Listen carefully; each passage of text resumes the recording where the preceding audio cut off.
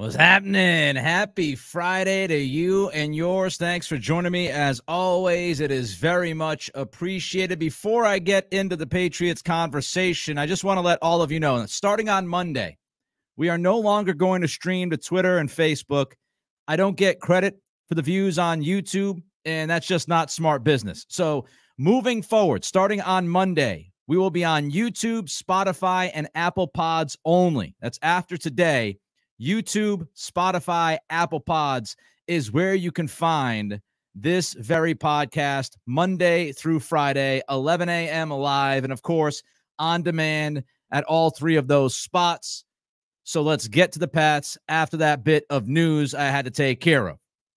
Are the Patriots out on one of the most popular quarterbacks in this year's draft? We know the names by now, right? Caleb Williams, Drake Maye, Jayden Daniels, JJ McCarthy, Michael Penix, Bo Nix, Spencer Rattler, etc., etc. Are the Patriots out? Are they officially out on one of those quarterbacks I just mentioned? Burt Breer tweeted this week that Eliot Wolf, Alex Van Pelt, quarterbacks coach TC McCartney were leading a Patriots contingent to the USC Pro Day to check out Caleb Williams earlier this week. Then Breer mentioned that Jerod Mayo will join those three and a bigger Patriots group at the Michigan Pro Day, which is today. We found out this morning that Mayo flew into Michigan last night. So the larger contingent is at Michigan today to watch and talk to JJ McCarthy. That bigger contingent for the Patriots will also be at the LSU Pro Day next week and the North Carolina Pro Day next week. Now, this is where it gets interesting. Some of the pro days, if you look at it on the schedule, they actually mirror each other for some of the schools, right? You can't just have one pro day for each school across the country. Doesn't make any sense. So, what's interesting here is that North Carolina's pro day is on Thursday. So, six days from now, Drake Maye will have his pro day, and so will Tez Walker and the rest of the Tar Heels. The interesting part to that is also six days from now, Michael Penix will have his pro day along with Rome Odunze, Ja'Lynn Polk, Jalen McMahon, and everybody else in that Washington program. So Thursday, next Thursday, you have both Michael Penix and Drake Maye having their pro days, same day. The Patriots are sending the large contingent of the principal people within the organization to Maye's pro day. Does that tell us that they're out on Michael Penix? I, I would be shocked if nobody is at Washington's pro day, of course, when you look at all of the names I mentioned just a moment ago, right? They will have somebody there. They'll have a wide receivers coach there. They might have an offensive line coach there because of Rosengarten. But if you look at Washington's roster, they have a lot of guys who are going to get picked in the top three or four rounds of this draft. So I would be stunned if the Patriots have zero representation at Washington's Pro Day next Thursday. But I do think this tells us that the Patriots, as an organization, they have very, very tepid interest in Michael Penix. I don't think they see him as one of the guys that they have to go out and draft in late April. I don't think they feel that urgency. I don't think they love Michael Penix. And the reason why I don't think they love Penix, it's rather obvious if you go off of what we know. Penix was the only guy, when you look at the top four or five quarterbacks, he was the only guy that the Patriots did not meet up with at the combine. Penix mentioned that. Penix did not meet with the Patriots at the combine in February. You also look at this fact that they're sending the most important people when it comes to evaluating the quarterback position. They're sending all of those people, including the GM and the head coach, to North Kakalaka instead of Washington to check out Penix. What's that tell you? If they think that they have to send the most important people to North Carolina to watch Drake Maye and not do the same with Penix, and of course, you can't have everybody go, right? They're having it on the same day. But You could absolutely split the baby, so to speak. You can have Jerod Mayo, Eliot Wolf go to Drake Maye's pro day, and you could have Alex Van Pelt, TC McCartney, and Ben McAdoo go to Michael Penix's pro day. There's a reason why every single solitary person that's going to have a big voice in the decision as far as who's going to be the future quarterback of this franchise is going to North Carolina and not flying across the country to check out Washington. So no meeting at the at the combine. Nobody of really significance that we know of is going across the country to, to meet with Penix.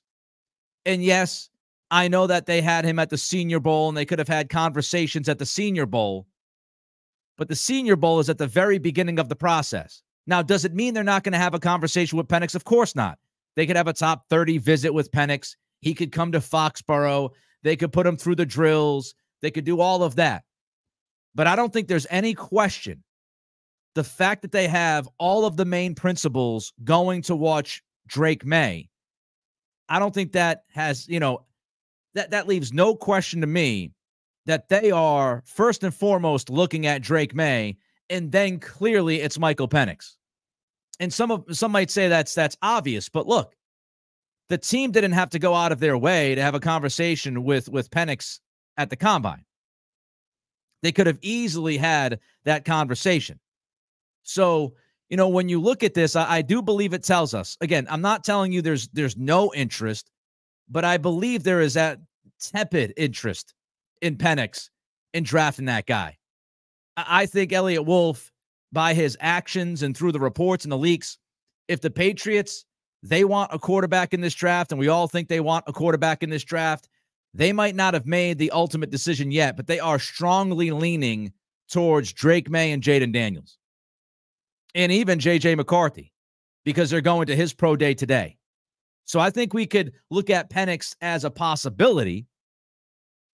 You don't want to rule everybody out, but I think Penix is least likely out of the top four or five guys due to what we've seen from Wolf, Mayo, and company and how they have uh, handled this process early on.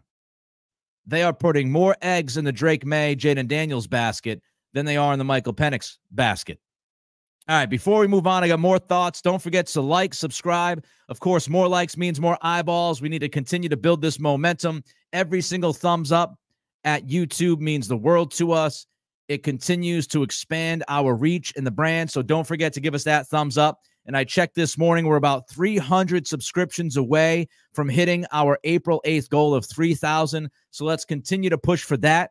And of course, as I said, we're not going to go live on Twitter and Facebook starting on Monday. Everything is going to be YouTube, YouTube, YouTube, on demand, YouTube, Spotify, and Apple Pods. So, right now is the time to subscribe to the YouTube channel so you make sure you are reminded every time we have a pod at 11 a.m., Monday through Friday, right here on the Nick Cattle Show.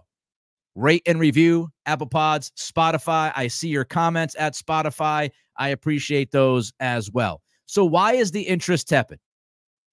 Let's say the interest is tepid. Wolf, Mayo, Van Pelt, McCartney, McAdoo. Why would they be sort of kind of interested in Penix, but seemingly not nearly as interested in him as the quarterbacks that we could see go in the top four or five picks of this year's draft? I have to wonder if if one thing is the injuries.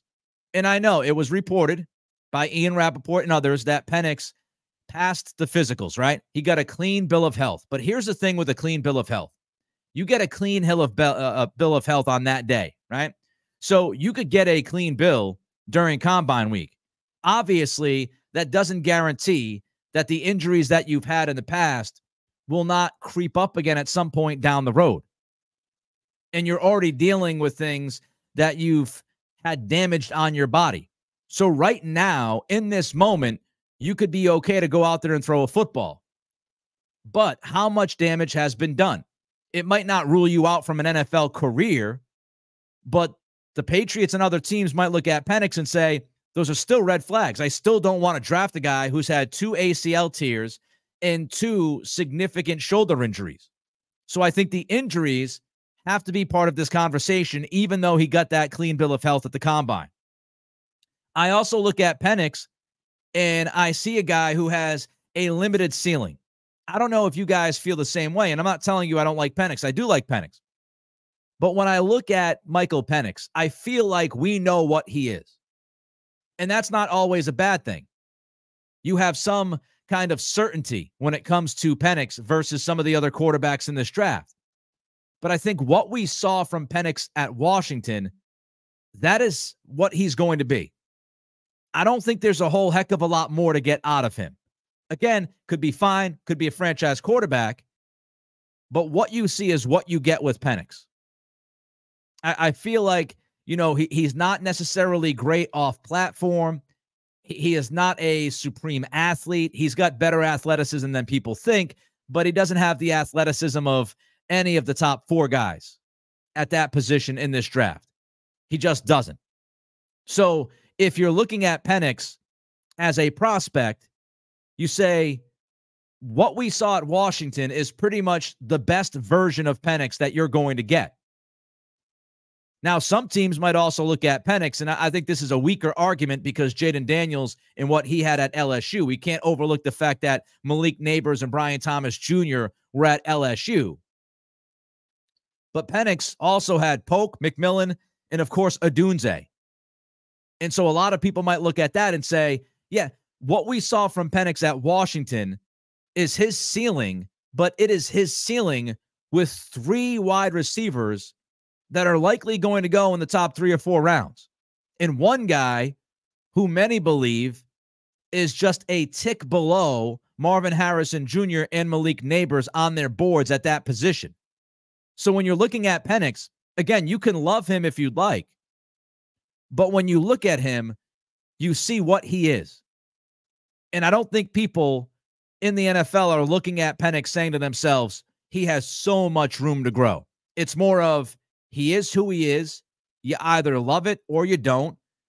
You either pick him or you don't off of what you saw. And so the question for teams like the Patriots at the top of the draft, and specifically the Pats, and I think eventually Minnesota, because I do think Minnesota is going to end up moving into the top five. Ultimately, the question is for those teams do you want to take the guy who you look at and say to yourself, okay, Drake Maye is full of potential and there are some risks. There are always risks when you draft a guy in the top three at that position. There are the risks, but the ceiling is so damn high. And if he can fulfill that potential, we feel like we have a game changing impact player at that position for the next 10 to 15 years. Is that the guy you want to take? Do you want to take somebody like a Drake Maye or a Jayden Daniels that you say they can grow, even though Daniels is older than Maye, You say, well, they still have more to give, but they do bring some risk. And we've talked about some of those risks in prior podcasts. Do you draft a guy like that, or do you wait later on and draft the more sure thing, quote unquote, like Michael Penix, who also has weaknesses, but might be a bit safer to pick in the second round? Or do you take the late lotto ticket like a Joe Milton from Tennessee? Do you take a Spencer Rattler in the third or fourth round?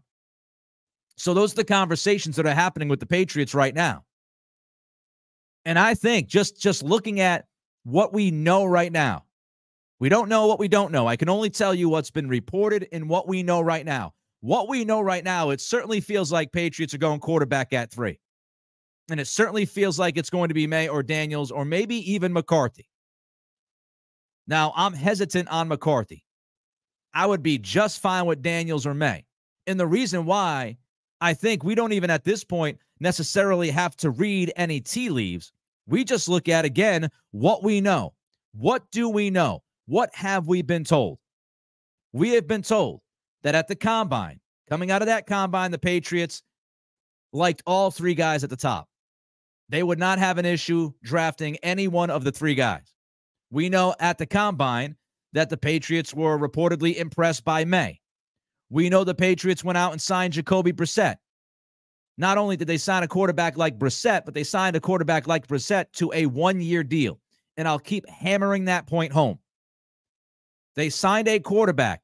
The only quarterbacks they had on the roster were Rourke and Zappe. And if you're a team that is not focused at drafting a quarterback in the first round, I think you would give Jacoby Brissett at least a two year deal to give yourself that extra year of the window, right? A little bit more security. The fact they gave Brissett a one year contract tells me that the focus right now on March 22nd is to draft that guy at three because there's no way you're drafting somebody at three at that position and he's not playing, you know, by 2025.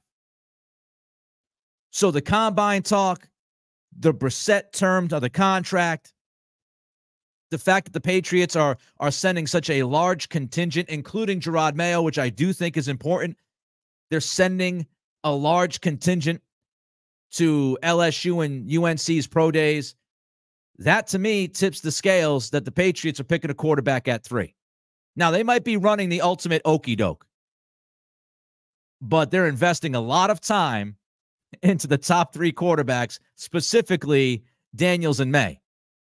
And I don't think they're investing this much time and that much stuff has been leaked about how much they like the idea of one of Daniels or Maye. I don't think we're getting all of that unless they have significant interest in them.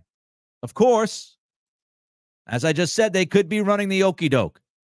And it would be one hell of a smokescreen and one hell of an okey doke run by this front office. But it could be. By the way, as we're talking about uh, the pro days, Burt Breer just posted that J.J. McCarthy's script will start with staple throws from the Michigan offense, then go to throws from the offenses of teams looking at him with cut it loose throws to finish. That's according to the quarterback's coach at Michigan, John Beck and they're apparently adjusting a bit after a teammate tweaked a hammy in the 40 yard dash. So JJ McCarthy will, during his script, run plays from the Michigan offense. Then he will move on to plays from the Patriots offense, from the Commanders offense. I would imagine the uh, Giants offense. And that's how that pro day will go. Also, one more note about McCarthy's pro day, which is interesting. This might have changed over the past hour or two, but the last I saw, the last I saw, there wasn't really a, a big time presence from the Vikings at McCarthy's pro day today. Now, of course, that could be smokescreen, that could be okey doke, that could be playing games, but I do think it's interesting that the Vikings, who had the you know the 11 pick and 23rd pick after that trade last week, everybody's talking about them moving up and drafting a quarterback. I do find it kind of curious if this remains the case. Again, this was as of this morning, things can change, but I do find it curious that after that trade, the Vikings are not at JJ McCarthy's pro day with a big time contingent like the Patriots have. That's interesting to me. Very interesting. And Drew F jumps in, and I understand this, Drew. They met with JJ already. I get that. A lot of teams have met with the quarterbacks already but you meet with these guys as much as possible and you you go out to dinner with them you do zooms with them you have the facility visits with them you go to their pro days every bit of information if you are interested in drafting a guy especially if you're interested in trading up to draft that guy you usually spend an inordinate amount of time on that quarterback so just meeting him once doesn't mean like all right we're done we got it in the books we met him we got our notes. We're good to go. That's not usually how it works. And you also think about, you know, Minnesota, they have the McCown connection, McCown, you know, he it's just it's it's very interesting. Very very interesting that they made that deal, they as in the Vikings, they made that deal and they're not at McCarthy's pro day with a bunch of people. interesting to me, especially again with the McCown connection. Of course, he has a connection with Drake Maye from high school days. So are the Vikings looking at Drake Maye as that guy? And if they are, do the Vikings think that Drake Maye is going to fall to four? Or are we talking about a possible deal with the Patriots and the Patriots move out of three. It's just all very interesting that the Vikings aren't there. Okay, before we continue, I remind you starting on Monday, YouTube, Spotify, Apple Pods only. We will not be streaming to Twitter or Facebook. I don't get credit for those views, which means I don't make money. I'm trying to survive here as a one man band. So we're going to kick everything to YouTube starting on Monday. YouTube, Spotify, Apple Pods. It just doesn't make business sense for me to continue to, you know, stream to other platforms that aren't going to help me out financially. So we're going to start that on Monday. Also, don't forget while you're here, give us that thumbs up. Let's build a crowd during the pod today on a Friday before I go out and enjoy myself for some March Madness with the wife. And boy, am I going to enjoy myself. But give us that thumbs up. More thumbs means more eyeballs.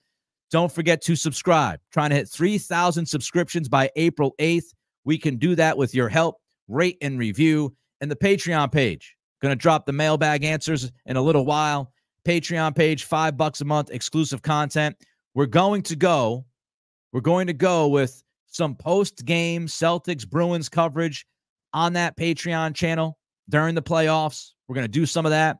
And we're also going to have some fun times with the draft at the Patreon, patreon.com slash Nick Cattles, C A T T L E S, uh, buck and a quarter a week. All right. So the other thing I wanted to talk about today was the approach with the quarterback if you do draft that quarterback at number three. If you pick Maye or Daniels or McCarthy, if you pick that guy, you have three options on how to handle the quarterback. The first option is you start him week one. He's your guy. You drafted him at three. You don't draft a guy at three unless you believe that he can start week one. You throw him out there, you throw him in the deep end of the pool, and you say, let's see if this young man can swim or not. Teams have done that. Peyton Manning had to do that. Uh, Andrew Luck, of course, was thrown into the deep end right away. So teams have done that. Josh Allen in Buffalo was thrown in the deep end, even though he was coming off of the Wyoming numbers, were, which weren't necessarily fantastic. So the one option, first option you got out of three is you just play the guy week one. You draft Drake Maye, he's your starting quarterback week one. Another option you have is that you can sit the guy that you pick at three, at least for some of the season. You don't start him week one. You don't necessarily say, we're going to just put this guy on the bench in mothballs, and we'll see him in 2025. We're going to sit him. We're going to see how he develops during the season.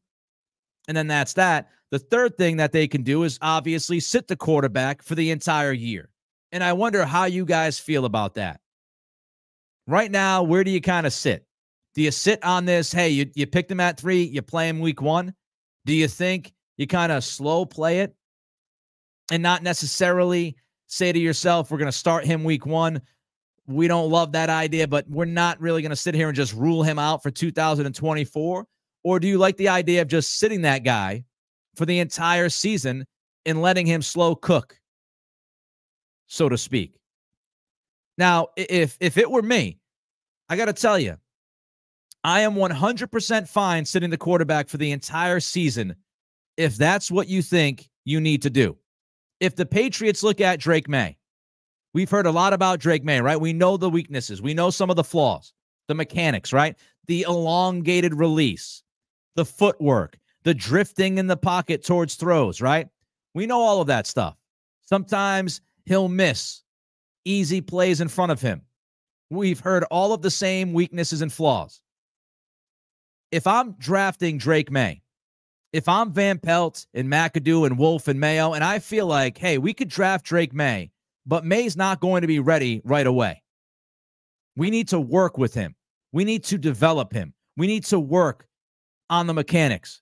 We need to straighten out the footwork. We need to make sure that he stops drifting in the pocket. We, have got to develop this guy the right way, and, and the right way is to sit him for a full season. If that's what they think, then I'm fine with it.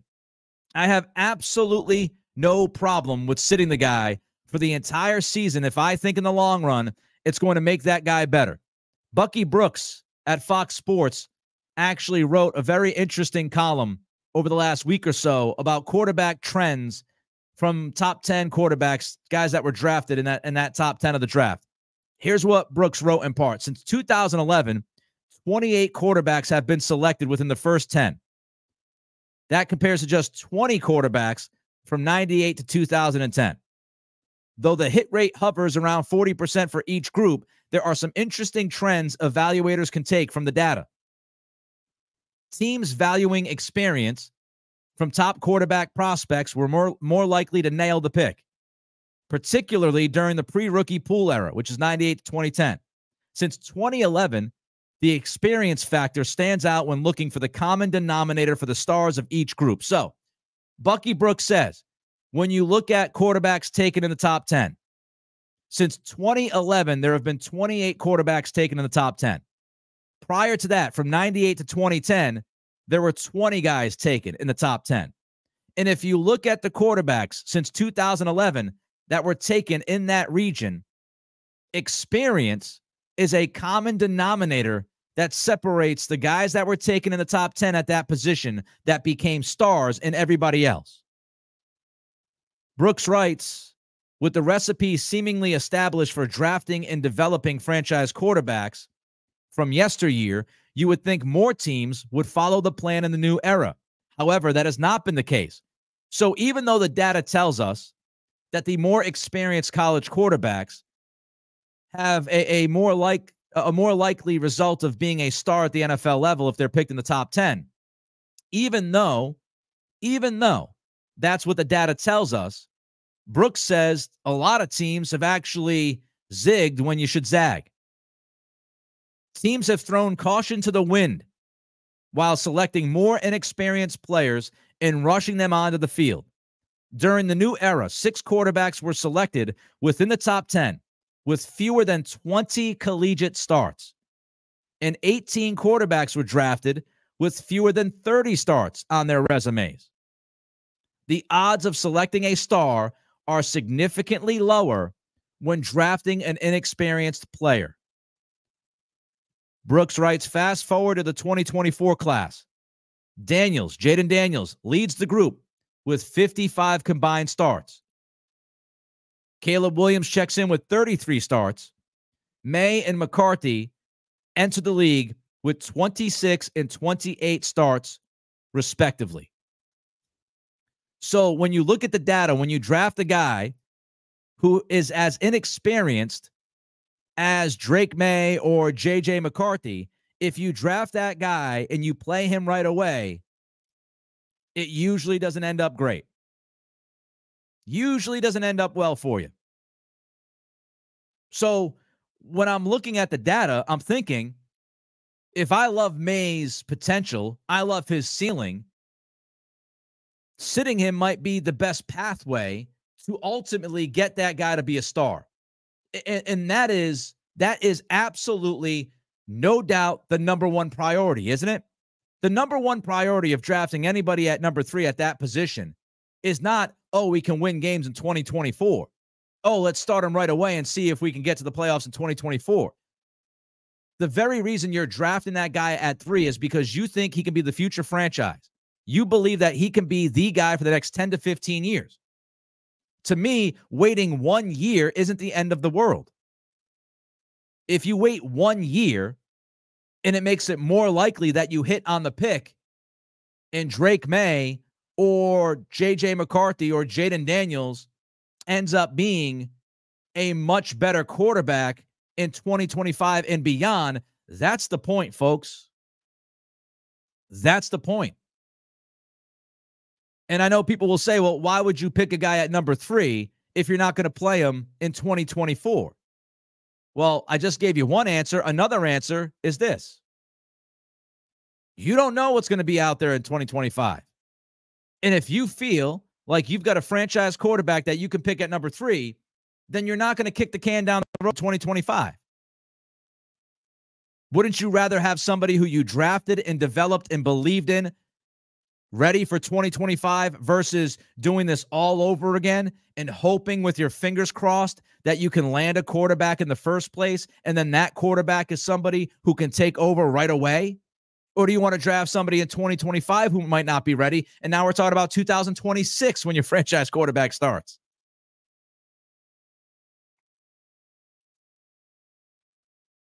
If Maye and McCarthy, if those guys need to sit, if Maye or McCarthy, if they're the guy and they need to sit for a period of time, sit them. You got to work on Maye's footwork and his mechanics, sit him. McCarthy did not have a ton put on his plate at Michigan. He doesn't have a ton of starts at the collegiate level, as I just mentioned. If you feel like he's going to be better off in the long run by sitting him for a bit or sitting him for the year, then you do it. The long term success at that position is priority number one. Here's one more note. I was thinking about this during the week.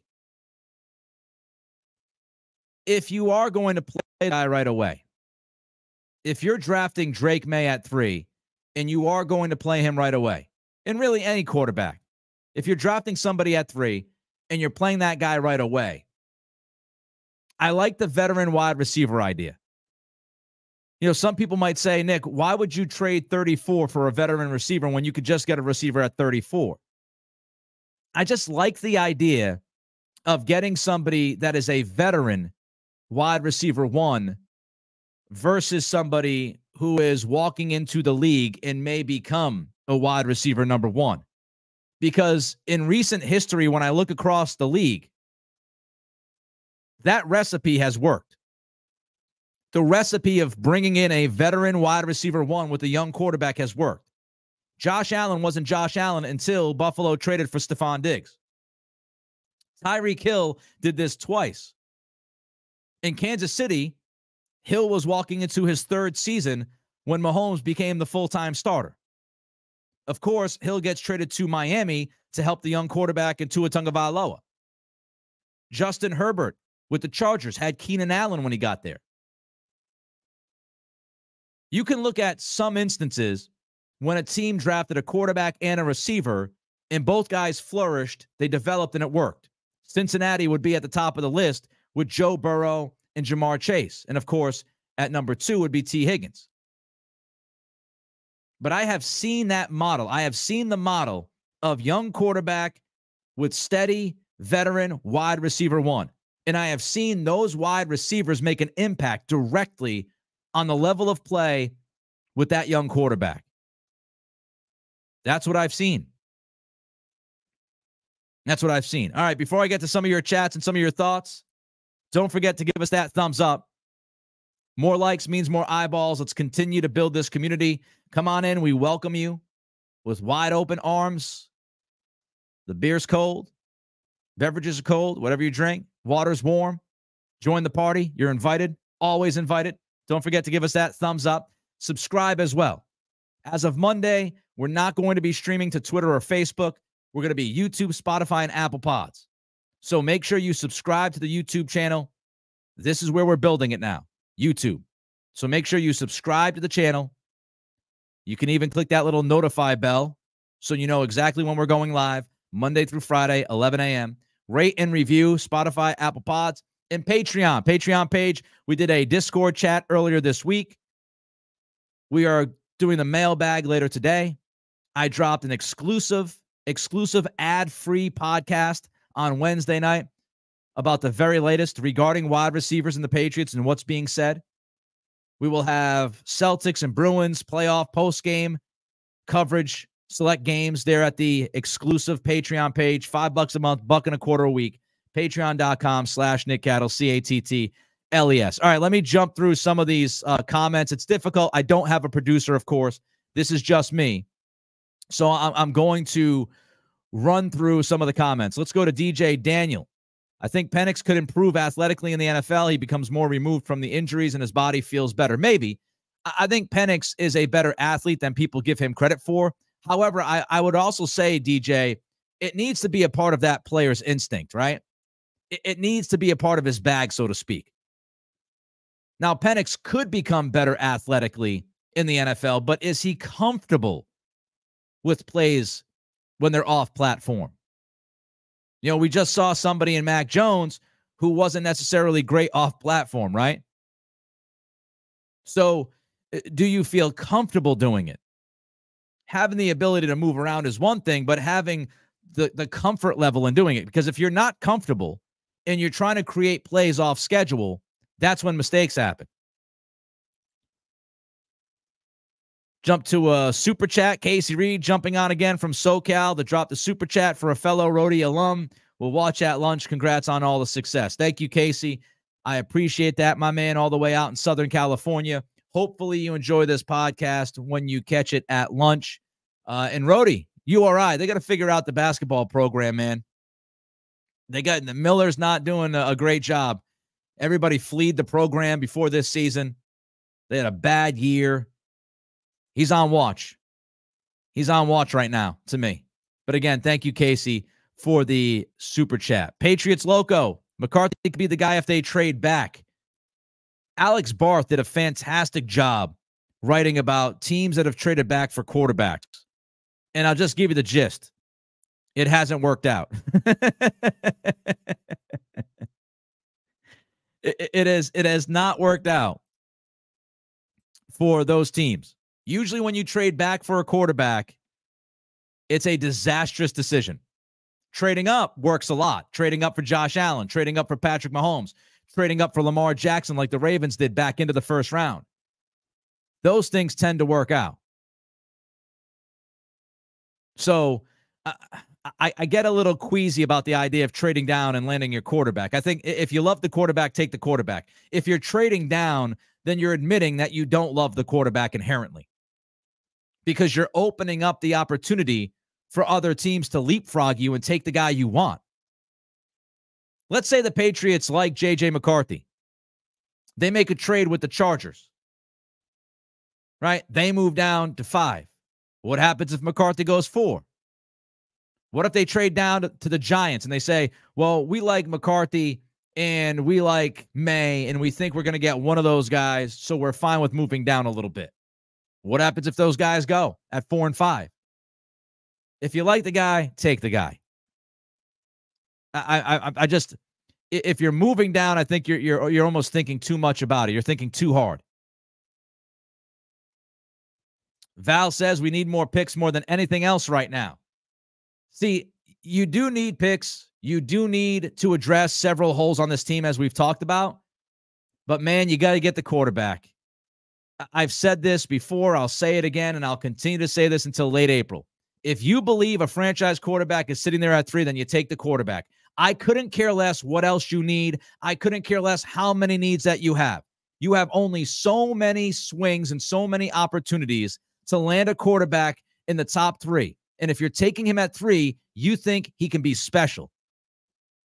You just don't find those guys on the regular. Yes, you can find them in the late first round. You can find them in the second round, in the fifth round, but it's much more likely that you hit on a quarterback in the first round. It, it just is. So if you think that guy can be the guy, then you take him. You find other ways to address tackle and wide receiver. I'm not messing around. If I think I can get a franchise altering quarterback, I'm picking that dude. I'm not thinking twice. That's what I'm doing. You know what else I'm doing?